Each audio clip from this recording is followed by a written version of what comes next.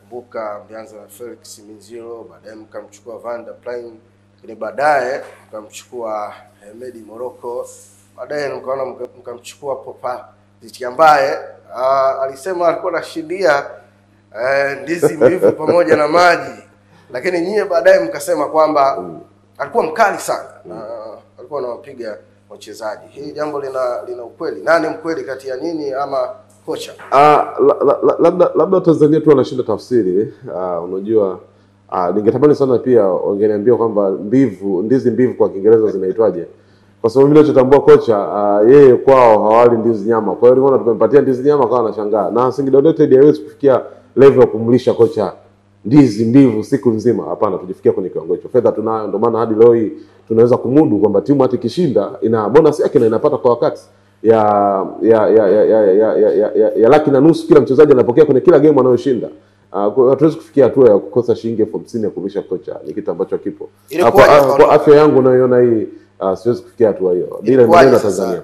Ah, kuondoka kwa kocha kulikuwa na mambo mengi. Uh, kwanza ilikuwa ni mahusiano kati ya yeye na benchi la ufundi wenzake, kwa sababu unajua age ya Popadik imeenda, lakini pia ni kocha ambaye ana ana, ana, ana principles zake katika uongozi, kitu ambacho alishindwa kuendana na, na makocha ambao tulikuwa tulikuwa nao. Ulitokea mahusiano mabaya kati yake na wachezaji, kwa maana wachezaji walikuwa wanalalamikia kwamba anawapiga na vitu kama hivyo. Ah, na sisi baadaye tuliona ni, ni, ni, ni jambo ambalo linahatarisha usalama wa klabu kwa sababu tumeenda kwa mechi dhidi ya Mtibwa tarehe kumi na mbili mwezi wa nne na wa tatu nakumbuka, tumecheza pale pale Manungu. Uh, Singida United inafungwa na Mtibwa, lakini wachezaji waligoma kufanya substitution. Kocha anataka kufanya sabu, wachezaji waligoma. Kwa kwenye mazingira yale tuliona kabisa kwamba sisi kama management ni lazima tutafute safe landing, kwa maana tutafute sehemu salama ya kutua na timu kwa sababu kwanza tuko kwenye position mbaya, lakini pili mahusiano na kocha ni mabaya na wachezaji. Kwa kipi na kuchagua, baki na wachezaji, ubaki na kocha? Kabidi tumuondoe kocha ili tubaki na wachezaji na tuweze kuifanya Singida United ibaki salama, na namshukuru kwamba ile kile ambacho tunakifanya Singida United leo ipo salama. Kocha ameondoka, wachezaji wamepiga mpira na mechi zetu za nyumbani karibia zote tumeshinda, na jana tu ndo tumepoteza.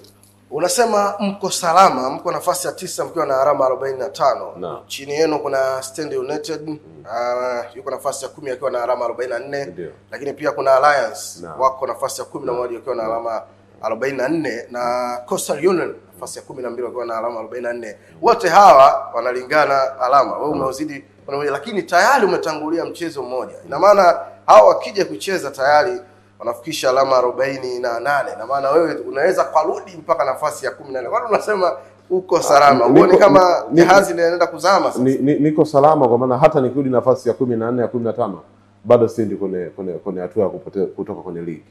Uh, tunafanya hivi vitu na tunajua, unajua kila leo hapo kila mtu anakesha na hesabu hizi kuhakikisha kwamba anajua ni nini kinakwenda kutokea katikati ya hizi point ambazo zimebaki. zime- zimebaki. Hadi sasa hizi tuna timu mbili ambazo haziwezi kutufikia kwenye point. Uh, kunazungumzia Mwadui hawezi kutufikia, unazungumzia Afrika Lyon hawezi kutufikia, na kuna timu kama tatu hapo zinagombana nao hawezi kutufikia sisi point. Kwa sisi na wenyewe tumepiga mahesabu yetu kuhakikisha kwamba uh, Singida United hadi sasa tulipo tuko salama na I'm sure hatuwezi kushuka daraja. msimu wenu wa kwanza 2017 2018 uh, mlitumia nguvu kubwa sana kujenga timu Yeah. kuwa imara na mkatumia nguvu kubwa sana kuwatafuta wadhamini labda kuijenga timu msimu wa kwanza kusajili wachezaji wa gharama kubwa. Ilikuwa ni kuwavutia wadhamini waje ndani ya Singida United? Uh, sisi tulikuwa na target na 100% kama kama Singida United tumefanikiwa. Target yetu ya kuwa na timu yenye jina kubwa ambalo litatusaidia kwenye kufanya business. Kwa msimu wa kwanza sisi kama timu tuliamua kutafuta wachezaji ambao kwanza watatusaidia kutangaza timu, lakini pili tutafikia malengo ambayo sisi tulikuwa tunataka. Tulikuwa tunatafuta kwenda kwa Champions League au tulikuwa tunatafuta kwenda kwenye shirikisho, na wewe ni shahidi kwamba Singida United ndio timu ambayo ilifika kwenye nusu fainali kwa mara ya kwanza. Tulifika kwenye nusu fainali, amini kwenye fainali dhidi ya Mtibwa kwenye FA Cup na alimanusura Mtibwa. Kama Singida walikuwa nao hawezi kuwa na fair play, tungekuwa tumewashinda siku ile na tungeenda kwenye kwenye kwenye Cup Confederation Cup sisi malengo yetu tumeafikia kwenye 100% na ndio maana leo hii Singida United imetoa fursa kwa zaidi ya wachezaji saba ambao wametoka. Kwa, kwa ndani ya mwaka mmoja wachezaji saba wameenda nje ya kimataifa. Tofauti na timu nyingine yote ya ligi kuu Tanzania bara. Na haya ni matunda ya ule msimu wa kwanza ambao sisi tuliinvest pesa kuhakikisha tunaitangaza timu. Leo namzungumzia Ali Ngans yuko Minnesota Marekani.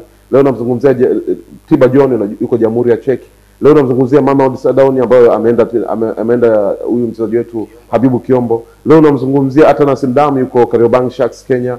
Leo namzungumzia Peter Manyika yuko KCB Kenya. Leo namzungumzia Erita na Erita Mpepo yuko Buildcom Zambia. Leo namzungumzia mchezaji Mwambeleko yuko Kenya KCB.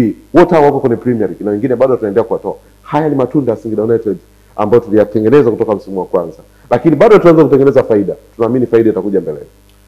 Mme- mmeteleza msimu huu naweza Yeah. nikasema hivyo Yeah. msimu ujao mjipanga ku- ku- kuwa na kocha mwingine Minziro kuwa naye lakini mkaona huyu tufai tunaingia ligi kuu ngoja tu tuingize kocha eh, ambaye kidogo ana uzoefu lakini yule naye mkaona "Mm, hapana naingiza mwingine. Baadaye mmeona Minziro umemrudisha.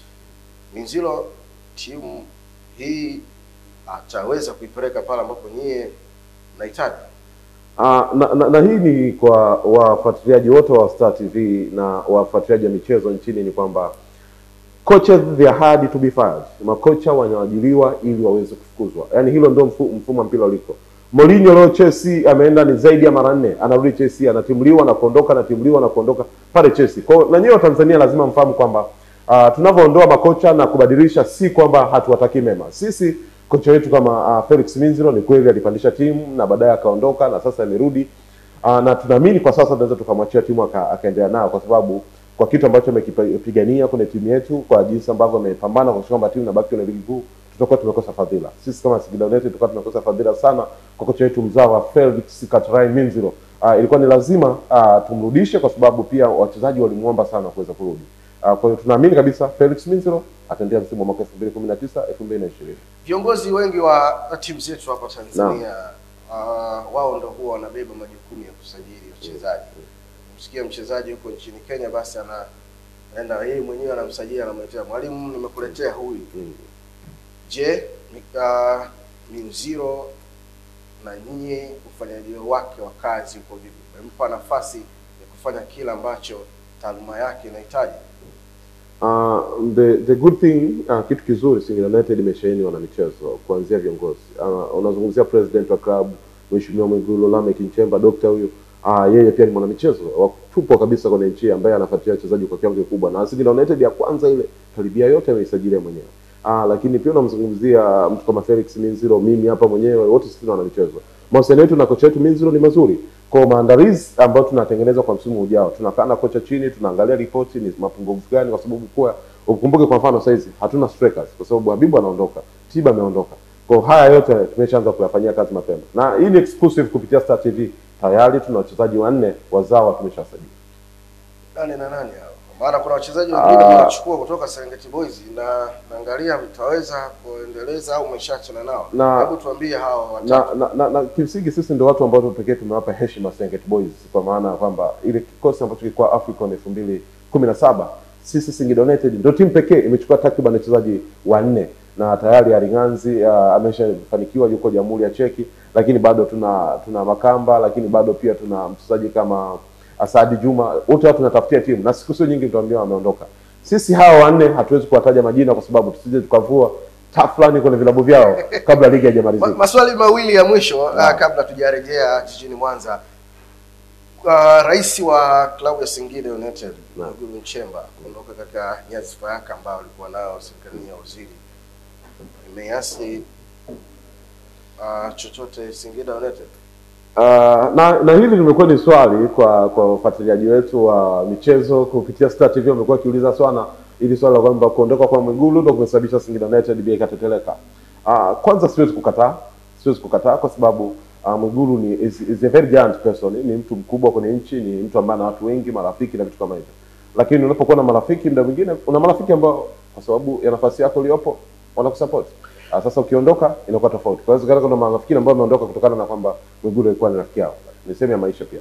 Swali la mwisho, Faisal Salum Fetoto msajili kutoka Zanzibar. Tena wewe mwenyewe ukatumia pesa yako mfukoni kwenda kumsajili. Ile baadaye ukasikia yuko Young Africans. Vipi? Ah, Faisal Toto kwanza ni moja kati ya tukio ambalo katika maisha yangu siwezi kuja kulisahau kwa sababu aliondoka kwenye mikono yangu katika mazingira ambayo Yanga alitumia ubabe tu, lakini hamna namna, kwa sababu ilishatokea.